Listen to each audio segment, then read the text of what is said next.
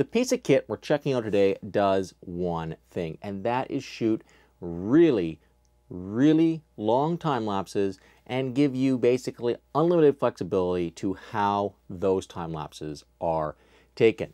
This crazy housing combined with Camdo's BlinkX controller is designed to allow you to take time lapses with whatever intervals you want on whatever schedule you want for as long as you want and if you connect it to either a solar panel or into mains power, you can take time lapses for basically ever. This product is targeted at someone who's looking to set up a time lapse, maybe well during construction of some building project where the, the standard time scale of one to two days isn't really going to be enough. These things are designed that you can set them up outside in the elements and not really worry about it for months on end.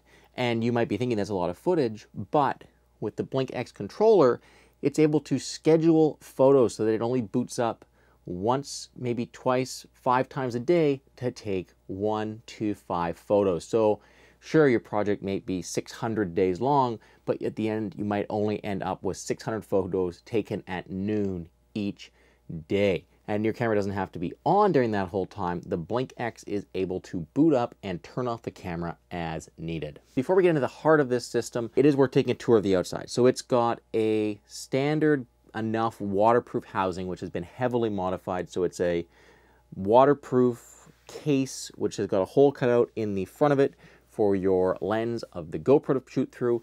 And what's really cool here is it's got onto it mounted a uh, filter ring so that any UV filter, a 67 millimeter filter fits onto it. The case comes with one, but if for whatever reason it's damaged, scratched, or if you want to put a polarizer or a neutral density filter on there, you could. So very easy to screw that on and off to replace the filters as they become damaged. On the back of the waterproof case, they've got a massive metal bra mounting bracket, which has got a whole bunch of quarter by 20 inch uh, nuts bolted into it so that it's easy to mount in whatever way you want. You can get a bunch of different mounting brackets and you can screw uh, any kind of tripod mount or anything like that right into it. That's how the solar panel mounts onto it using a standard ram mount. So it's very easy to use those. I just screw into some of the mounting holes and then mount right onto the back of the solar panel. On the bottom of the case, there's the receptacle for uh, running power into the case, and that is just handled by kind of one of these plugs that as you tighten the plug down, it's got a big O-ring that cinches around the wire to create a water-resistant seal. Once you open up the case, you get to what really makes this thing work.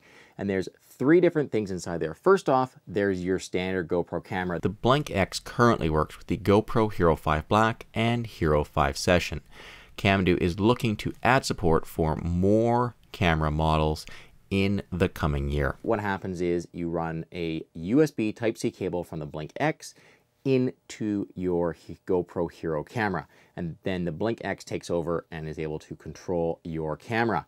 The other piece of hardware, which is very important, is the power supply, which is used to power the entire system. Now, it's important because it needs to be a always on power supply. We've all got a bunch of battery banks, but most of these battery banks are designed to power off when they're not charging. This saves long-term energy and make sure the power bank lasts even if you just leave your power cord plugged into it. Um, there's no like off-on switch, they just automatically turn off when they're not being used. So the power supply you use with this needs to be always on because for long, long periods of time, neither the Blink X or your GoPro camera are going to be requiring power. Finally, uh, this power supply, which is included, is one that is capable of being charged via the solar panel. So the power from the solar panel comes into the power supply, which charges up basically a, uh, battery bank with a USB plug on it, and then that USB power runs into the Blink X, and from the Blink X, it runs into our GoPro camera. All in all, what this is, is a super robust, easy to mount, um, large, beefy Skookum housing for our GoPro camera, our battery bank, and our time-lapse controller and our solar panel, which means that if we want to leave this outside for a couple months, we can. We can mount this onto a tree or onto a post or onto the side of the building and then just leave it there. And that leads us to the Blink X, the piece of hardware that I've been talking to about throughout this video, and that is the piece of hardware that allows us so much control over the time lapses on our GoPro camera. It's a little box, uh, about the same footprint as our GoPro camera, but much skinnier, which has a couple ports on it. And this unit is able to communicate with our GoPro camera, turn it on and off, and change modes. Setting up the Blink X is quite straightforward, but you do need a tablet, a computer, or a smartphone. What is nice to see is that they didn't write a standalone app for this thing. It just works via a web portal, and this is something which a lot of manufacturers who have simple, simple apps for their devices could take note from.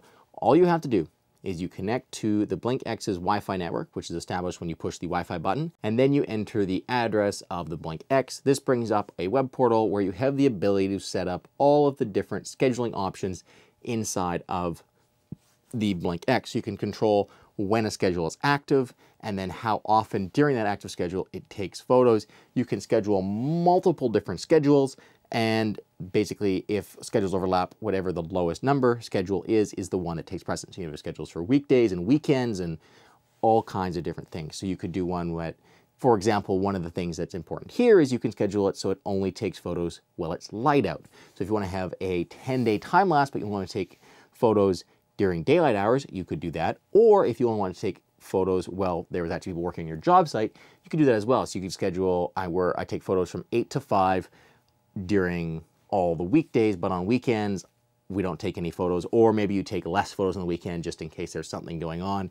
You could have different speed ramps. You could have faster or larger gaps between photos at night and smaller gaps during photos during the day. A lot of flexibility built in here.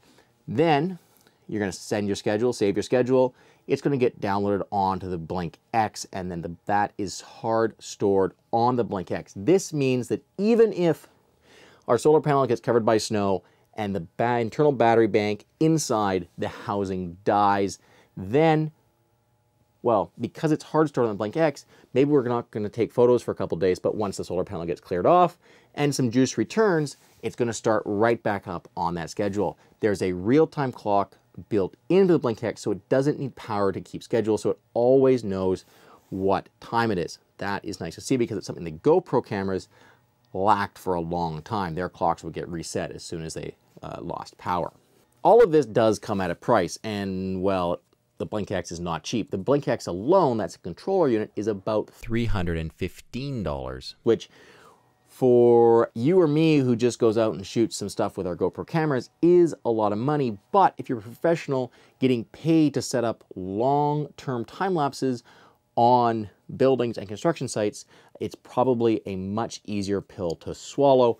And then on top of that, there is the cost of the housing. But the good news here is that if all you want to do is shoot long-term time lapses and maybe you're able to set up your GoPro camera inside a building or somewhere where you have access to mains power and you don't have to make your camera waterproof, well, then all you need is the Blink X and you're all set to go. I think there's some absolutely awesome places this can get implemented. More and more construction sites are asking for media coverage of their projects and uh, one of the elusive things out there is that long-term time lapse. It's a very hard thing to shoot. It's a very hard thing to install.